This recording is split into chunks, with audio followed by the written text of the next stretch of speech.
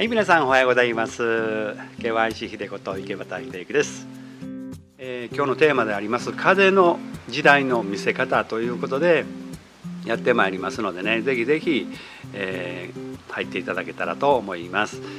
というのもですねあのこの情報っていうのは今まででしたらこういろいろ蓄積型でいろんな情報を固めて、えー、カチッとこう残してですねでそれをこう、えー、コンテンツ化してそれをこう皆さんにサービスとして売っていくというねそれが今までの流れだったと思うんですけどもちょっと今のクラブハウスのいろんな流れを見てるとそうでもないかなと。要はその情報が流れていく中でそのたまたまそこに出会った人がつながってそこからコミュニティがしっかりとですね絆がつながっていくというね。こういうふうなこう今流れになってるんじゃないかと。だからどちらかというと昔の考え方でやってる人はですね本当に取り残される感があるかなと思ってきてます。僕自身、まあ、いろんなそのこういう配信のスタンドもいろいろ使ってきたしえそれからですね、まあ、今でこそスマホってあるけど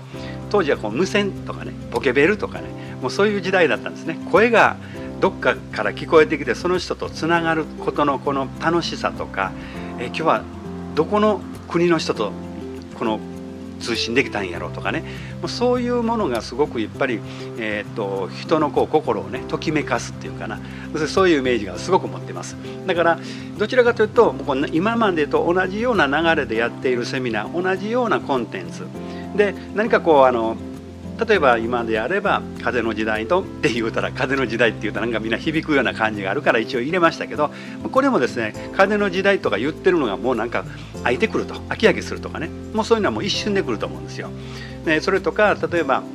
クラブハウスもある程度クラブ廃人とか言って、えー、泥沼に入ってるとかね、えー、そういうことを言う人もいてますけどまあ要は自分がきちっとですねその時々いかに楽しむかというここが非常に大事で、え歓喜ですね。歓喜歓喜する。もう人生のテーマは歓喜。もうそこにしかないんです。だから、えー、いろいろとこの、えー、情報が新しい情報が入ってきてはいクラブハウス入りました。これをなんとかですねしがみついてなんとか、えー、誰よりも早くするとか誰よりも早く知らないとダメ理解しないとダメ。でこういうふうに思ってしまうともう力んで力んでしんどい。そればっかり焦ってしまう、まあ、そういうことはねあの本末転倒でね楽しさワクワク感を実はそこで見出せるのになんかこう焦りとかそっち側のストレスとかギャップにですねめちゃくちゃ自分のあの感情が左右されてしまうこれはね非常に、えー、本当に極端に言うとですねまあ、天国か地獄かみたいな イメージですよね。まあ、そこでですね、まあ、僕もいろいろ心理学とかこのメイクのねあのお仕事でまあ5万人以上の方々を見てますんでね分かるんですけどやっぱりねうまく好転して人生を好転させていくとか楽しんでいくっていうそういう方の特徴はね何かというとねあの誰でもその陽と陰とかあるんじゃないですか。ネガティブな部分とポジティブな部分ってあるんですよね。これはねもう半々と思っとったらいいんですよ。もうあって当然みたいなね。でちょっと努力するのは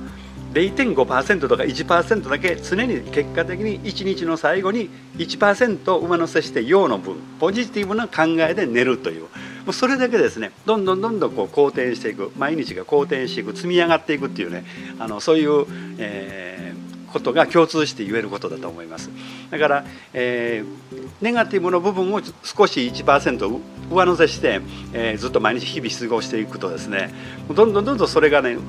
あの雪だるま式にですね自分の人生をマイナスの陰の方へね引き込んでしまう。これは同じメイクもそうですよ。例えば美容というものに関してもそうであちょっとシミできたなあシワできたなちょっと最近乾燥するなメイクのノリ悪いなもうこういうふうにして常にですね寝る前にこうお肌を触って最終的にマイナスの印象を自分の脳に1%でもプラス積み上げたままで寝るとですねもう次の日の朝からまたそうなっていくわけですね。そこの部分で最終的に1日トータルでたった1%もしくは0.5%でもいい。とにかく、